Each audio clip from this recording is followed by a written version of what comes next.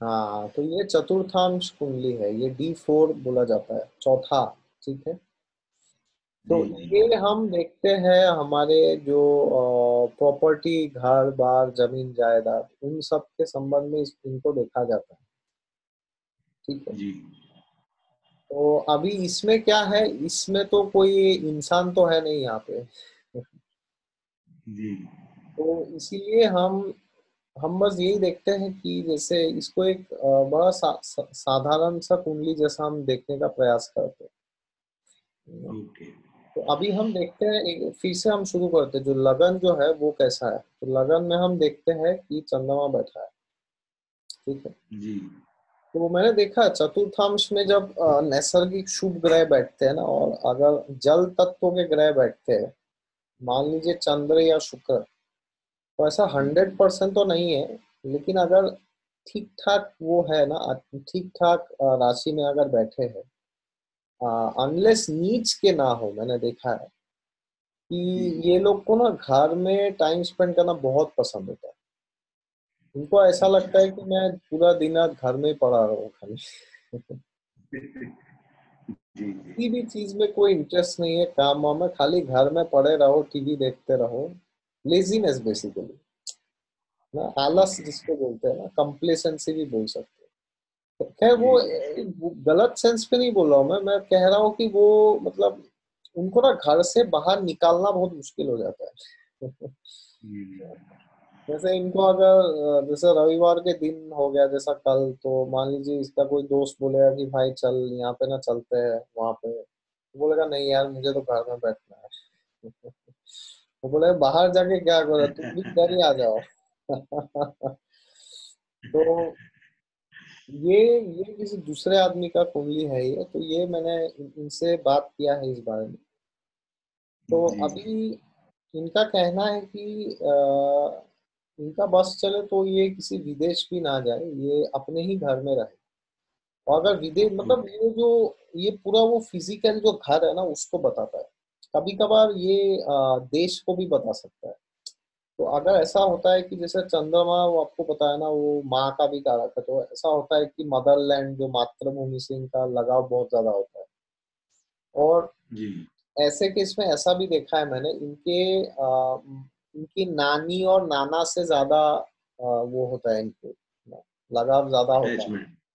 हाँ दादा दादी से उतना नहीं होता है क्योंकि वो तो सूर्य से आएगा ना वो दादा दादी जी जी जी।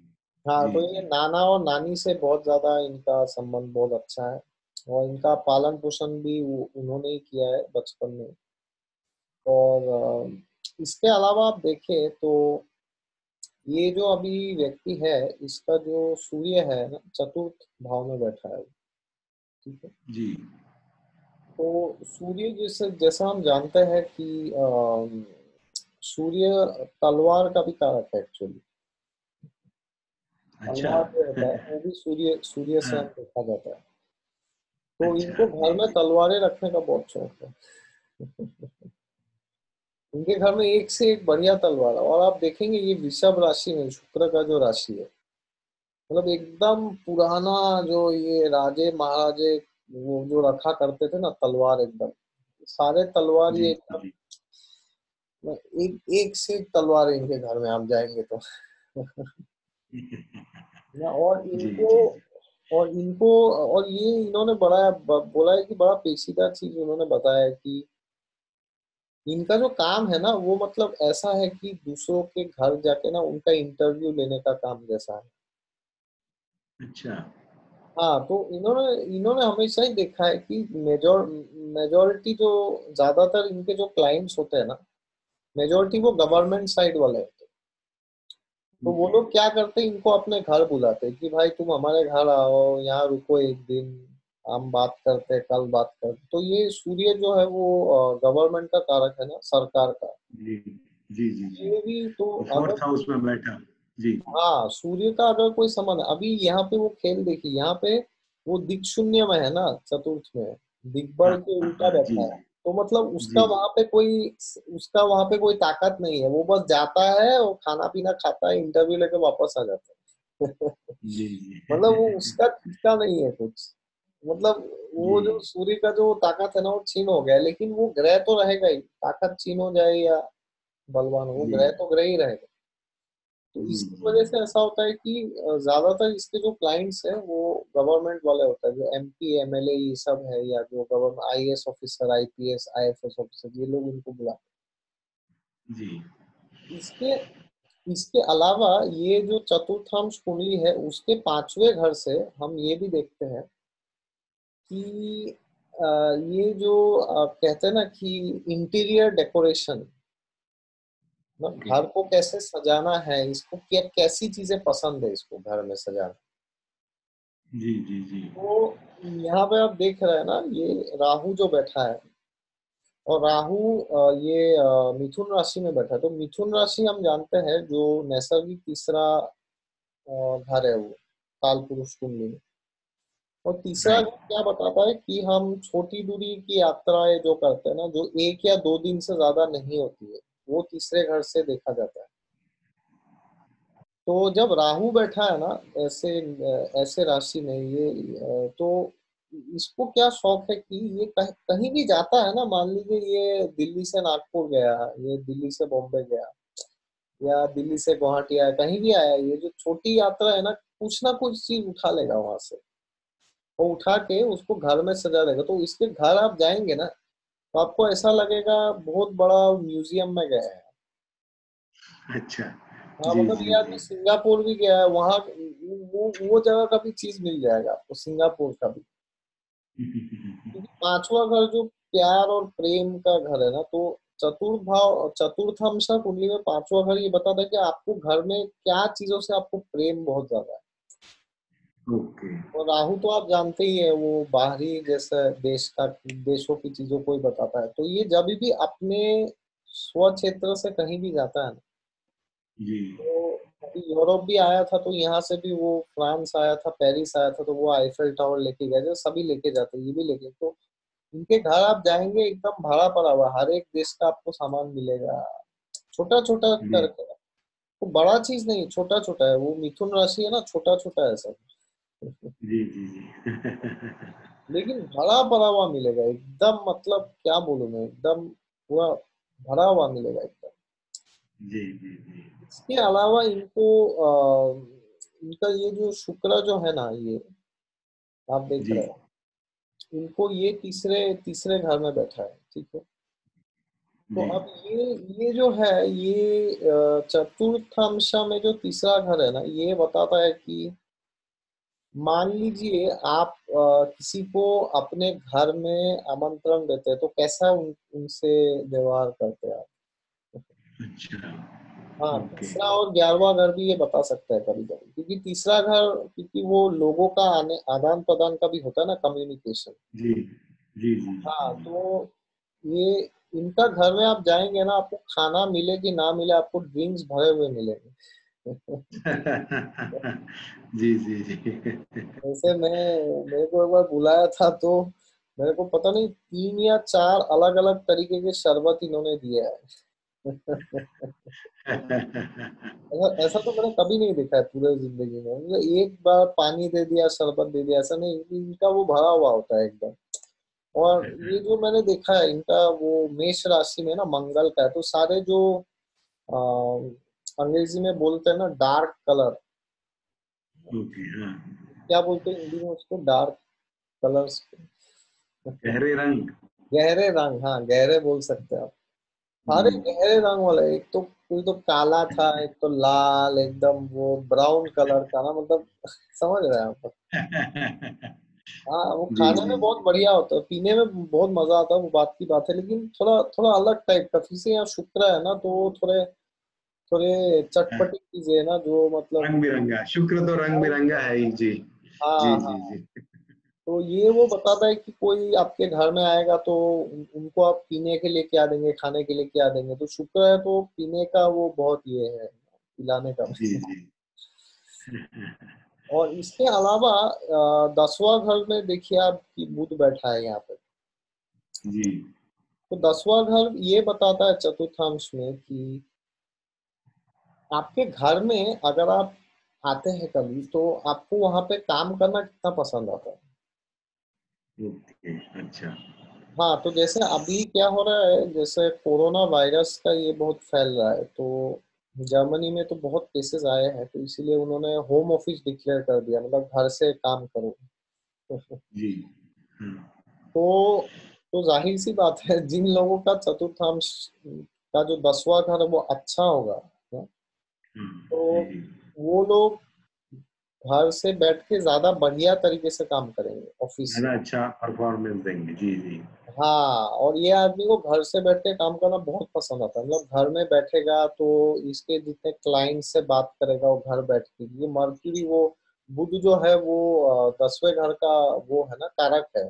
प्रमुख कारक है दसम दशम जी। भाव का। तो जब भी बुध दसवें घर से संबंध बनाएगा चतुर्थ मैंने हमेशा देखा है कि ये लोगों को घर से काम करना बहुत पसंद होता है। तो तो ऐसे लोगों का जो कुंडली होगा वो अगर सेल्फ एम्प्लॉयमेंट या वो जैसे घर में बैठ के जैसा कंसल्टिंग देना या ऐसा कोई काम करना घर घर में बैठ के ऑनलाइन कुछ करना तो वो चीज़ें वो बहुत बढ़िया तरीके से कर सकते हैं। जी जी जी।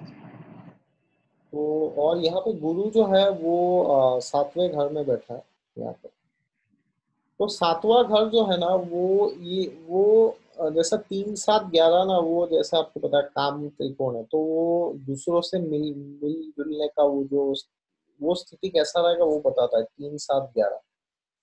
तो यहाँ पे सातवां घर में जो गुरु बैठा है तो इनको ना एक चीज़ का बहुत रुचि है इनको कि ये बड़े बड़े जो साधु महात्मा है ना इनको अपने घर बुलाएँगे हमेशा अच्छा ओके। ये कि ये प्रवचन देंगे मतलब ये सुनेंगे वो लोग प्रवचन देंगे तो ये उनको बहुत पसंद है। और क्योंकि ये सिंह राशि में बैठा है तो ये कहते हैं कि अब तक शायद ही कोई गुरु है हिंदुस्तान में जो इनके घर में नहीं आया है। क्योंकि सिंह राशि जो है ना वो जैसे सूर्य का राशि है वो तो रॉयल साइन जिसको बोलते हैं बड़े बड़े जितने फ़ेमस गुरु हैं सब आए इनके घर सबने बहुत बड़ा बड़ा प्रवचन दिया है। और ये गुरु जो है यहाँ से ये शुक्र को और केतु मंगल को भी दृष्टि दे रहा है। अब देखिएगा गुरु यहाँ से फिर चंद्रमा को भी दृष्टि दे रहा है। तो ये गज केसरी योग भी बना रहा है ये। गुरु चंद्र एक साथ में है।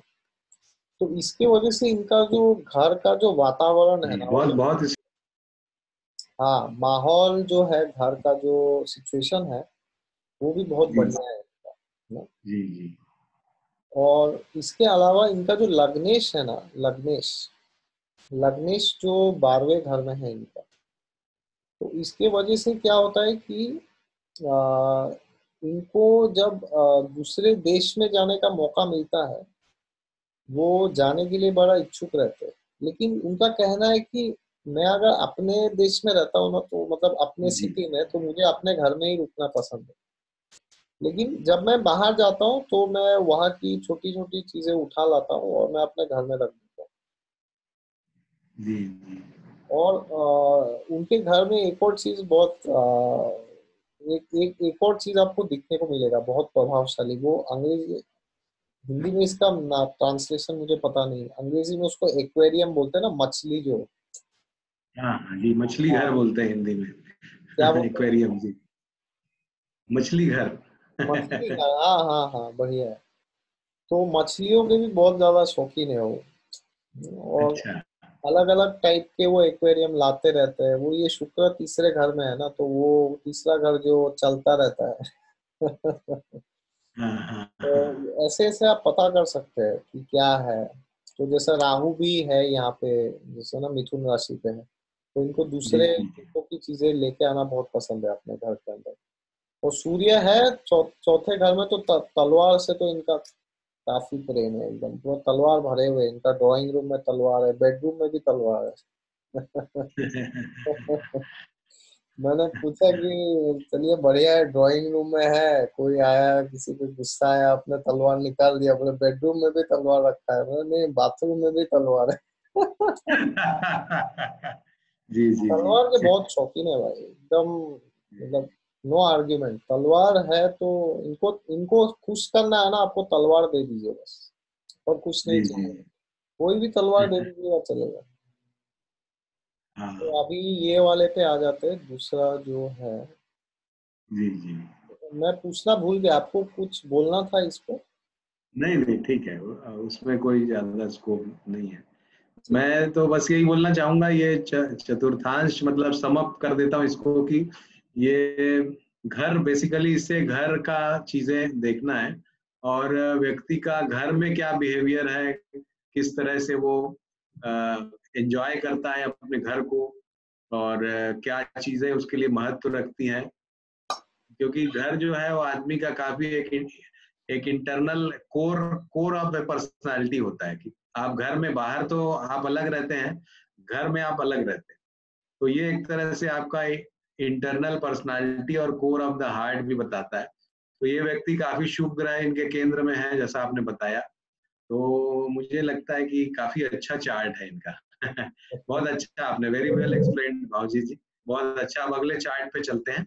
हाँ और इसमें एक और लास्ट चीज़ मैं बोल दूँगा पहले जैसा और ऐसा तो मैं करता नहीं हूँ लेकिन जनरली अगर आप ज्योतिष को आपके जीवन में पूरा अच्छे से उसको उसका उपयोग करना चाहते तो मैंने हमेशा देखा है कि आप जब किसी के घर जाएँगे ना अगर आपको कोई आ, कोई गिफ्ट लेके जाना है कोई कुछ ऐसा तो हमेशा उनके चतुर्थांश के पांचवे घर में जो ग्रह बैठा है उससे संबंधित अच्छा। कुछ लेके जाइए।